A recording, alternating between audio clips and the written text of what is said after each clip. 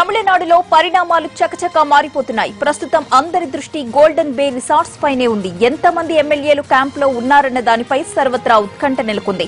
మరోవైపు పోలీసులు రెవెన్యూ అధికారులు అన్నాడీఎంకే ఎమ్మెల్యేల నుంచి వాంగ్మూలాన్ని తీసుకున్నారు. ఇప్పటి వరకు తొంభై రెండు మంది దగ్గర వాంగ్మూలం తీసుకున్నట్లుగా తెలుస్తోంది. వారు ఏం చెప్పారన్న దానిపై సాయంత్రం గవర్నర్కు ప్రభుత్వ అధికారులు నివేదిక అందించనున్నారు. అంతకుముందు రిసార్ట్స్ దగ్గరకు వచ్చిన పోలీసులపై శశికళ వర్గం రాళ్ళ దాడి చేయడంతో పరిస్థితి కాస్త ఉద్రిక్తంగా కనిపించింది.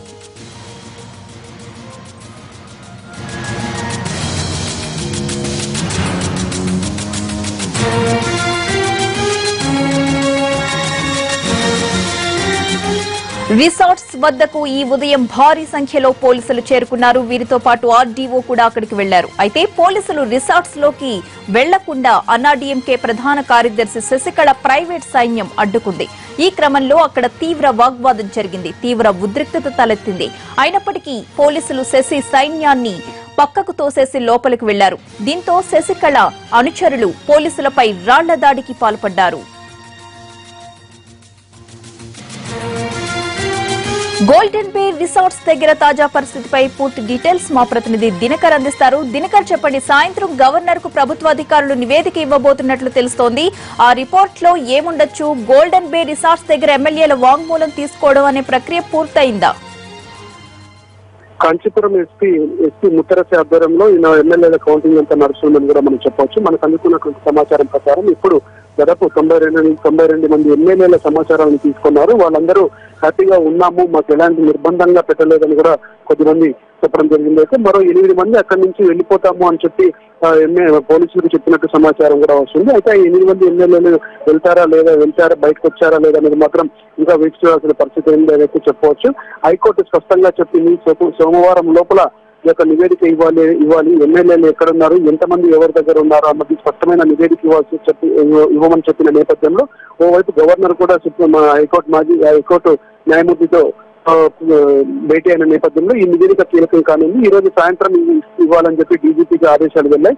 ఆయన ఈ రోజు సాయంత్రం ఇస్తారా లేకపోతే సోమవారం రేపు ఇస్తారా అన్నది మాత్రం వేచి చూడాల్సిన పరిస్థితి ఉంది. అయితే శిక్షణ వర్గం తమ దగ్గర నూట ఇరవై తొమ్మిది మంది ఎమ్మెల్యేలు ఉన్నారని చెప్తున్న నేపథ్యంలో అందులో నిజా నిజాలు ఎన్ని ఉన్నాయి అందులో ఫోర్జరీ సంతకాలు ఏవైనా ఉన్నాయా అన్న దానికి సంబంధించి కూడా పోలీసులు అలాగే రెవెన్యూ అధికారులు వివరాలు సేకరించారు. ఎస్పీ కాంచీపురం సంబంధించినటువంటి అధికారులు దాదాపు డెబ్బై మంది పోలీసుల అధికారులంతా ఇందులో ఈ పనిలో నిమగ్నమైనారు.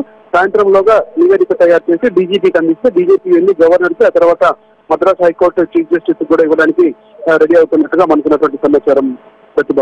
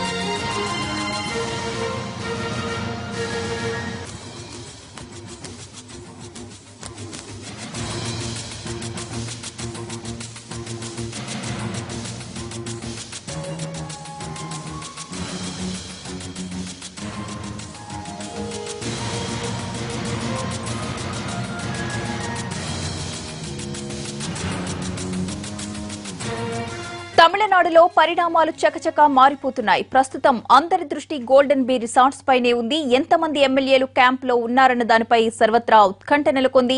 మరోవైపు పోలీసులు రెవెన్యూ అధికారులు అన్నాడీఎంకే ఎమ్మెల్యేల నుంచి వాంగ్మూలం కూడా తీసుకున్నారు. ఇప్పటి వరకు తొంభై రెండు మంది దగ్గర వాంగ్మూలం తీసుకున్నట్లుగా తెలుస్తోంది. వారు ఏం చెప్పారన్న దానిపై సాయంత్రం గవర్నర్కు ప్రభుత్వ అధికారులు నివేదిక అందించబోతున్నారు. అంతకు ముందు రిసార్ట్స్ దగ్గరకు వచ్చిన పోలీసులపై శశికళ వర్గం రాళ్ళ దాడి చేయడంతో పరిస్థితి కాస్త ఉద్రిక్తంగా కనిపించింది.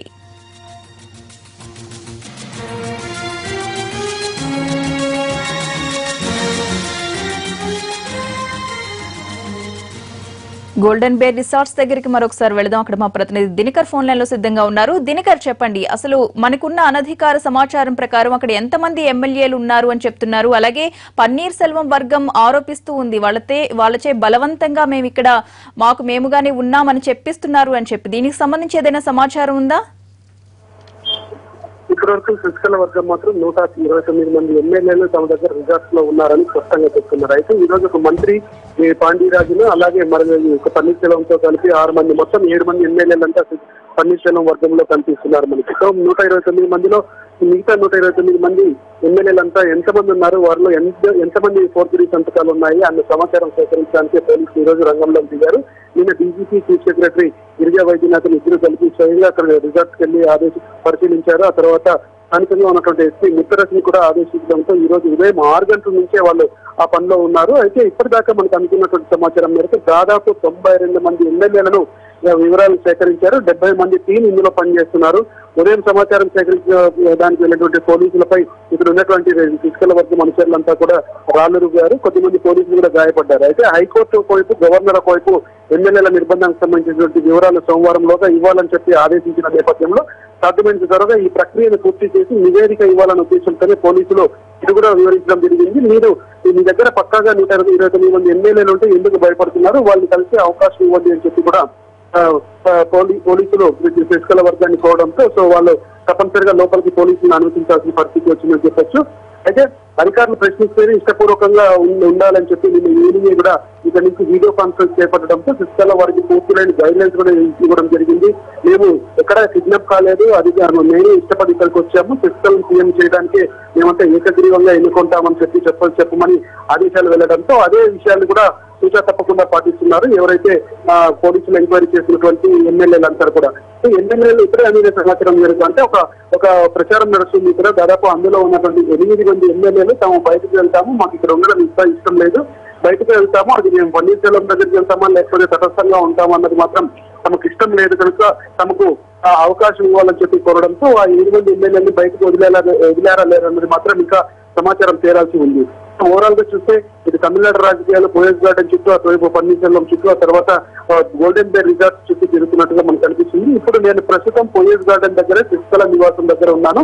ఈ వేద నిలయంలో ఇంతకుముందు జైలంత ఉండేది. ఇప్పుడు ప్రస్తుతం శశికళ కుటుంబ సభ్యులు ఉన్నటువంటి ఈ వేద నిలయం నుంచి శశికళ వెళ్తున్నటువంటి పరిస్థితి ఉంది. అయితే ఆవిడ కొవ్వొత్తూరు వెళ్ళి రిజార్ట్స్లో ఉన్నటువంటి ఎమ్మెల్యేలందరినీ కలుస్తారని ఒక ప్రచారం ఇక్కడ ప్రస్తుతం నడుస్తుంది. అయితే గవర్నర్ అపాయింట్మెంట్ కోరిన నేపథ్యంలో ఏ క్షణంలోనైనా గవర్నర్ ఒకవేళ అపాయింట్మెంట్ ఇస్తే అక్కడ కూడా వెళ్ళి గవర్నర్ని రిక్వెస్ట్ చేసే అవకాశం ఉంది. ప్రభుత్వం ఏర్పాటు చేయడానికి అవసరమైనటువంటి ఎమ్మెల్యేలంతా తన దగ్గర ఉన్నారు కనుక తనకే అవకాశం ఇవ్వాలని చెప్పి ఇప్పటికే లేఖ రాసిన నేపథ్యంలో దాన్ని ప్రత్యక్షంగా వెళ్ళి కలవడానికి తీసుకెళ్ళ వెళ్తారని చెప్పి రెండు రకాలుగా ఈ రకమైనటువంటి ప్రచారం ఇక్కడ వార్తలు వస్తున్నాయి. సరే మరి కాసేపట్లో ఆవిడ బయలుదేరుతుంది. ఇక్కడ కార్యకర్తలు కలిసినటువంటి శశికళ చెప్పడం చెప్తుంది చెప్పడం జరుగుతుంది. తన అమ్మ మన ఆస్తి అని అమ్మ దాదాపు కోటిన్నర మంది కార్యకర్తల్ని అన్నాడీఎంకే పార్టీ వదిలి వెళ్ళింది. ఓ కొద్ది మంది అటు వెళ్ళినంత మాత్రాన ఎక్కడ ఆ, వెనుకాడే లేదండి వెనుకాడేదే లేదని చెప్పి వీళ్ళంతా ఆఫీసర్లతో తానే సీఎం అవుతానని చెప్పి కూడా స్పష్టంగా ప్రకటించడం జరిగింది. సో కార్యకర్తలు కూడా అదే జోష్లో ఉన్నారు అదే భరోసాతో ఉన్నారు.